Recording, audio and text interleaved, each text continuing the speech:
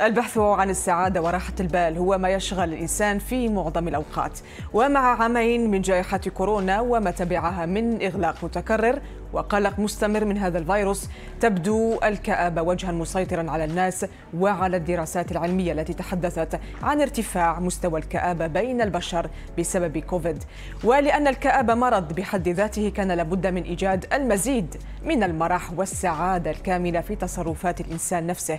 الأمر الذي لخصته الكاتبة والباحثة الأمريكية كاثرين برايس بكتابها قوة المرح. نتابع تفاصيله في هذا التقرير وبعدها نناقشها.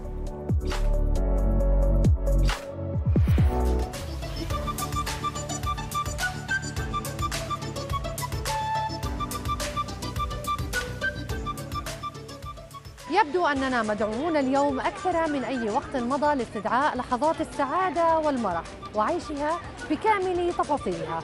فمع انتشار الأخبار الأخيرة حول جائحة كورونا والتي أثارت قلق وخوف الناس مجددا يظهر المرح كوسيلة هامة لاكتشاف أننا ما زلنا على قيد الحياة.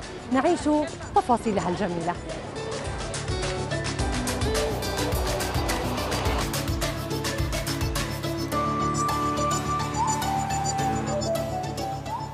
خطوات تدعو لها الكاتبة الأمريكية كاثرين برايس في كتابها قوة المرح. تقول إنها وصفة ناجعة لأجل تجاوز كآبة الجائحة والاستمتاع بالحياة. وتعتبر أن من أهمها التواصل وفعل ما نحب لأن ذلك سيجعلنا في حالة مزاجية أفضل ويزيد من شعورنا بالرضا.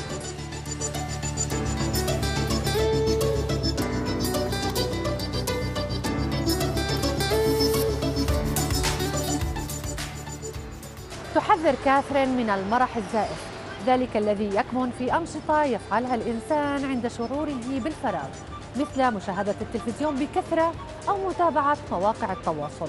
مؤكدة أنه يجب أن نسعى لساعات مرح حقيقية ساعات نقضيها مع من نحب لفعل ما نحب.